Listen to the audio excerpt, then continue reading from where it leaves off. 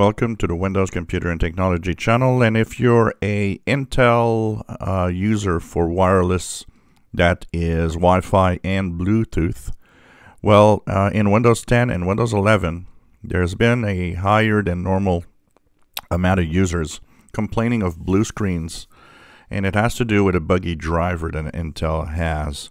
So this is for specific models of um, Bluetooth and Wi-Fi devices. Um, the latest driver page is here. This is the page for the driver for 32, 64-bit Windows 10 and uh, and only 64-bit Windows 11, of course.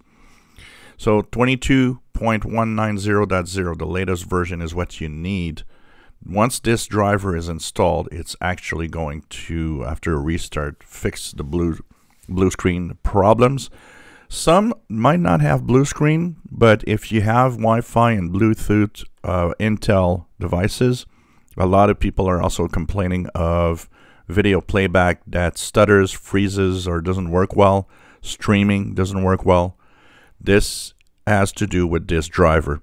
So update to the latest driver. This driver has been released in November, but more and more people are complaining and not updating their latest devices. And I think it's important to check it out. So I'm uh, actually going to share the link to this page in the description below. So if you are affected, you'll be able to fix this. If you already installed the latest driver, uh, that's fine. But uh, make sure that um, even if you're not affected or haven't seen any problems, I would probably say to uh, update your devices for the latest driver, which is 22.190.0. If you enjoy my videos, please subscribe, give us thumbs up. Thank you for watching my videos.